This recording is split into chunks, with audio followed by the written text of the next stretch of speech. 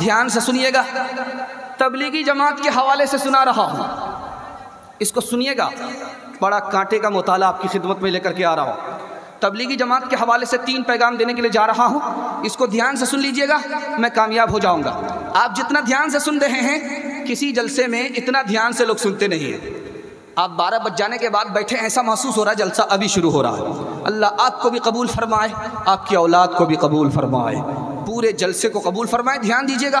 दावत व तबलीग के हवाले से सुनाने के लिए जा रहा हूँ।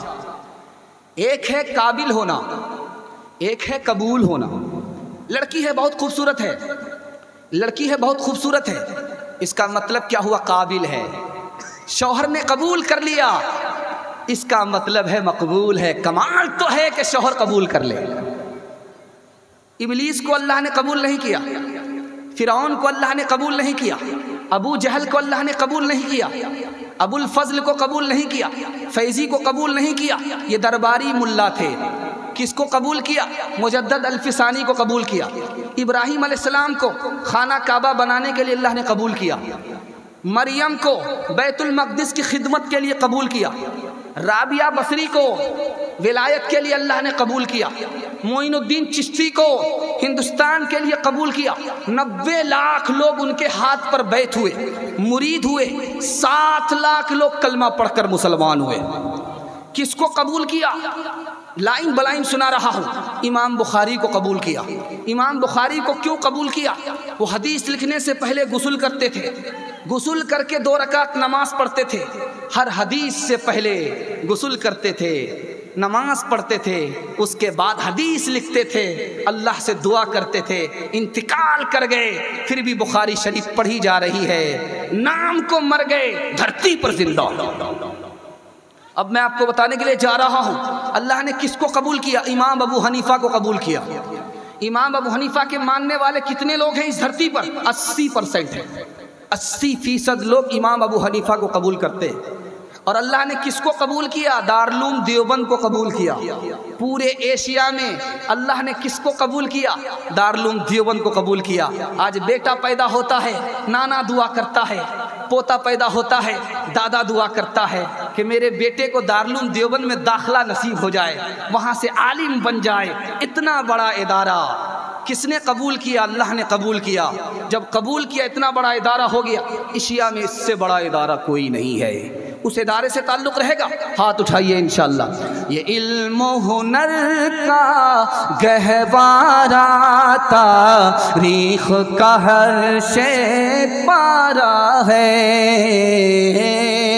हर फूल वहाँ एक शोला है, हर सर्व वहाँ एक मीनारा है। आबिद के यकी से रोशन है सादात का सच्चा साफ़ अमल आँखों ने कहाँ देखा होगा लाश का ऐसा ताज महल। कहो सारे वहाँ दब जाते हैं तो फान वहाँ रुक जाते हैं। उस काख फकीरी के आगे शाहों के महल झुक जाते हैं। जो सबसे कमज़ोर बच्चा होगा उसको मदरसे में दाखिल करेंगे, हाथ उठा दीजिए। ये देखिए, दो चार आदमी फिर भी हाथ उठा रहे कुछ लोग सर पे ला करके हाथ रगड़ रहे हैं, फिर कोई देख नहीं रहा है। सब नज़र आ रहा है। ज़रा ध्यान दीजिएगा, दूसरा मुताला आपकी खिदमत में लेकर के आ रहा हूँ। देवबंद के आलिम कौन है? कारनामा क्या है? ये मैं आपको बताने के लिए जा रहा हूँ। ताबत तबलीग को सामने रखिए। नमूना लेकर के आ रहा हूँ, इसको ध्यान से सुनिएगा। देवबंद तीन मरहले में बना। ज़मीन तैयार हुई। इल्म का बीज डाला गया। दरख्त को फल और फूल के काबिल बनाया गया। तीन मरहले में देवबंद देवबंद बना। मुजद्दिद अल्फसानी ने ज़मीन तैयार किया शाह वलील्ला मुहदस दहलवी ने इल्म का बीज डाला। हज़रत नानोतवी ने इतना बड़ा इदारा बना दिया। देवबंद में क्या होता है, ये मैं आपको बताने के लिए जा रहा हूँ। देवबंद ने पूरी दुनिया को क्या तालीम दिया, ये मैं आपको बताने के लिए जा रहा हूँ। बुत परस्ती को ख़त्म किया, देवबंद ने पहला काम किया। कबर परस्ती को ख़त्म किया, देवबंद ने दूसरा काम किया। नफ्स परस्ती को ख़त्म किया, देवबंद ने तीसरा काम किया। शहवत परस्ती को ख़त्म किया, देवबंद ने चौथा काम किया। सबसे बड़ा ये काम किया खुदा परस्ती की तालीम पूरी दुनिया को दे करके दिखाया। अब देवबंद का कारनामा सुनिए, लाइन वलाइन सुना रहा आर्या समाज खड़ा हुआ कि मुसलमानों को मुसलमान नहीं रहने देंगे। जैसे नरसिम्हानंद अभी खड़ा हुआ है कि मुसलमान को मुसलमान नहीं रहने देंगे। तुम जैसा फिरौन भी आया, नमरूद भी आया, चला गया। सब खाक में मिल गया इस्लाम। कल भी था, आज भी है, कयामत तक बाकी रहेगा। आया था बर्बाद करने के लिए आर्या समाज। कौन खड़े हुए? हज़रत नानोती भी खड़े हुए। आर्या समाज ऐसे गायब हो गया, जैसे गधे के सर से सिंह गायब होता। माल्टा की जेल में कौन पहुँचे हैं? शेखुल हिंद पहुँचे। वहाँ क्या लिख रहे हैं? कुरान की तफसीर लिख रहे हैं। अनवर शाह कश्मीरी देवबंदी आलिम हैं। बुखारी की शरह लिख रहे हैं। एहयाउसनन देवबंदी आलिम लिखते हैं। बजलुल मजहूद देवबंदी आलिम लिखते हैं। अठारह साल मस्जिद नबी में हदीस का दर्स किसने दिया? देवबंदी आलिम ने दिया। शेखुल इस्लाम हुसैन अहमद बदनी अलैह ने दिया। आपको सुन करके हैरत होगी। 180 से ज़्यादा मुल्कों में तबलीग को राइज किसने किया? मौलाना इलियास साहब अलैह ने किया।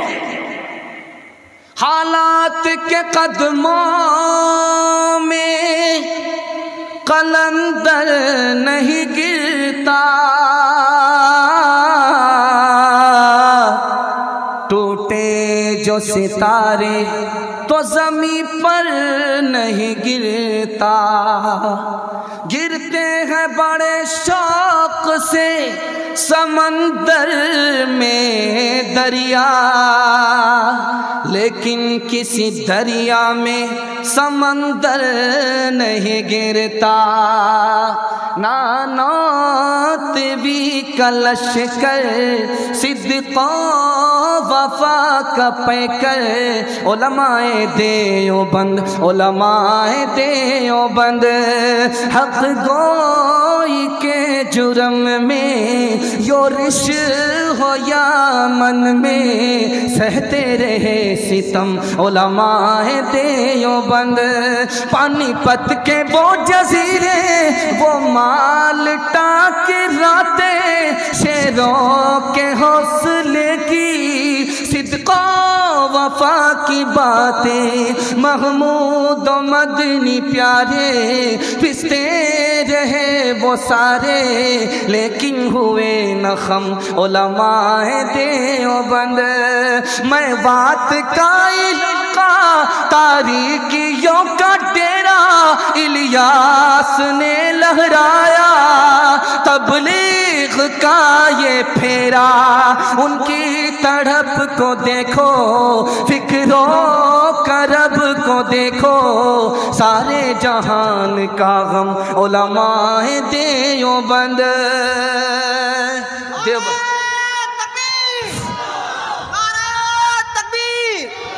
मुफ्ती सहादुल नजीब साहब।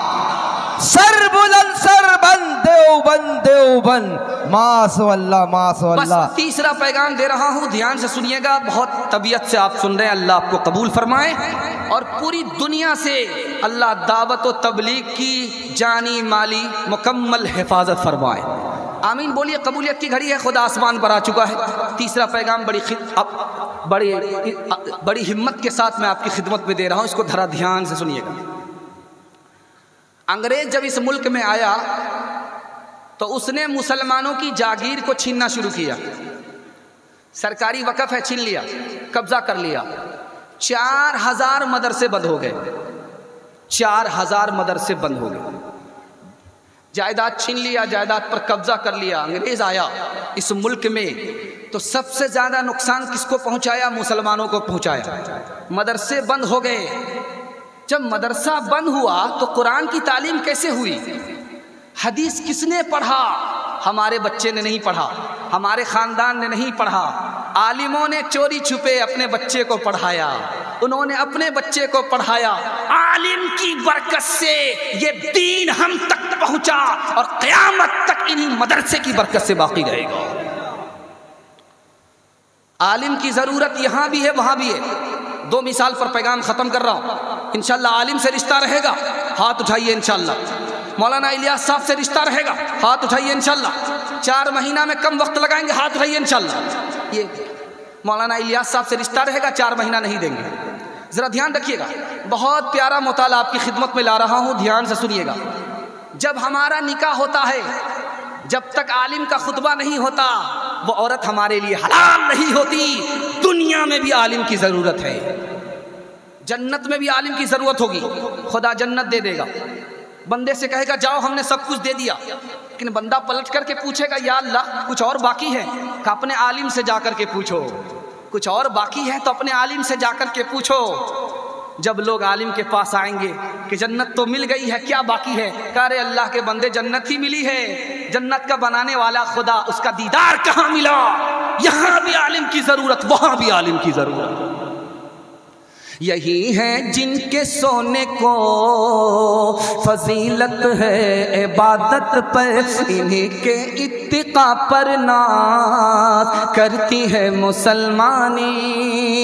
यही है जिनके सोने को फजीलत है, इबादत पर। इन्हीं के इत्तिका पर नाज करती है मुसलमानी।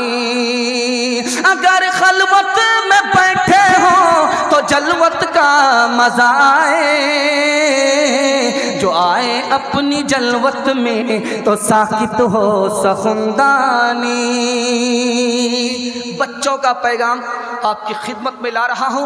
वसीम रिजवी को सामने रखिए और बड़ा प्यारा मुताला आपकी खिदमत में तीन मिनट में गुजार रहा हूँ। इन अपने बच्चे को कुरान पढ़ाएँगे, उर्दू पढ़ाएँगे, हाथ उठा दीजिए इन गलती से कुमारे लोग हाथ मत उठाइएगा, बीवी तक का मुँह नहीं देखा, बाल बच्चा कहाँ से होगा? खैर इरादा कर लीजिए। ध्यान दीजिएगा, मैं आपको सुनाने के लिए जा रहा हूँ। कुरान है क्या चीज़? अंधेरे से उजाले की तरफ़ लाने वाली किताब है। कुरान है क्या चीज़?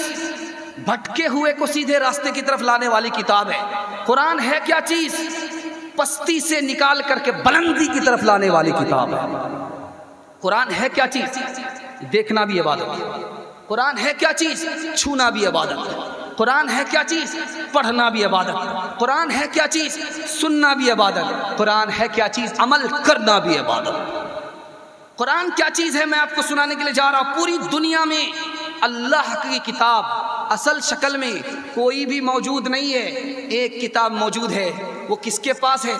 मुसलमानों के पास है। उसी किताब का नाम है कुरान मजीद। असली हालत में आज भी बाकी है। बाकी कोई किताब नहीं। एक बात मैं आपको सुना रहा हूँ। आप चैलेंज कर सकते हैं पूरी दुनिया को। ट्रेन में आप सफ़र करते हैं बस में आप सफ़र करते हैं, आप चैलेंज कर सकते हैं कि हाफिज, कुरान दिखाओ। किसी भी मज़हब की किताब का हाफिज दिखाओ, नहीं मिलेगा। सिर्फ़ कुरान का हाफिज तो मिलेगा। बाकी कोई हाफिज मिलेगा ही नहीं। इस्लाम ज़िंदा है। उसकी किताब ज़िंदा है। दस साल का बच्चा छह हज़ार छह सौ छियासठ आयत को सीने में लग करके इस्लाम को ज़िंदा रखे हुआ। एक बात याद रखिए, बहुत सारे लोग अपने बच्चे को हाफिज कुरान बनाना चाहते हैं। तो बच्चे का बाप कहता है कि मैं अपने बेटे को कुरान का हाफिज बनाना चाहता हूँ। तो रिश्तेदार में दो तरह के लोग होते हैं। एक कहता है, बहुत अच्छा अपने बच्चे को हाफिज बनाइए। दूसरा कहता है, यार, हाफिज बना करके क्या करोगे? मैं हाथ जोड़ करके आपसे कहता हूँ, ये ताना कभी मत मारिएगा। आपको कितना बड़ा नुकसान होगा मैं आपको बताने के लिए जा रहा हूँ। जब कुरान का हाफिज अल्लाह के यहाँ पहुंचेगा तो खुदा कहेगा कि तुम्हारे खानदान के जो दस नाफरमान हैं, उनको निकाल लो। तो जिसने ताना मारा होगा, वो महरूम हो जाएगा, और जिसने हौसला दिया होगा वो जहन्नम से निकाला जाएगा। इसलिए जब किसी का बच्चा हिफ्ज करने के लिए उठे तो आप ताना मत मारिएगा, हौसला दीजिएगा। अगर आपने ताना मारा तो आप जहन्नम ही में रहेंगे, वो बच्चा आपको निकाल नहीं सकेगा। दूसरी बात को याद रखिए, हाफिज कुरान बनाना कितना आसान है, स्कूल में पढ़ाना कितना आसान है। ये नुस्खा मैं आपको बता रहा हूँ, इसको अगर आपने रख लिया, ये जलसा कामयाब हो जाएगा। अगर आप अपने बच्चे को स्कूल में भी पढ़ाना चाहते हैं, हाफिज कुरान भी बनाना चाहते हैं, मैं इलाज बता रहा हूँ, रास्ता बता रहा हूँ। पाँच साल स्कूल में पढ़ाइए। पाँच क्लास स्कूल में पढ़ाइए। उसके बाद स्कूल से निकाल करके मदरसा में दाखिल कर दीजिए। आपका बच्चा दो तीन साल के अंदर हाफिज कुरान बन जाएगा। जब वो हाफिज कुरान बन गया तो उसका दिमाग इस तरह तेज हो जाएगा जैसे कि पत्थर पर चाकू तेज हुआ करता। अब आपका बच्चा क्या करेगा? ट्यूशन अपने साथी के साथ ले करके मिडिल पास हो जाएगा। आप दुनिया में भी अपने बच्चे को कामयाब करा लिए और आखिरत में भी कामयाब हुए। एक बात को याद रखिए, अल्लाह आपके इल्म में इजाफा फरमाए।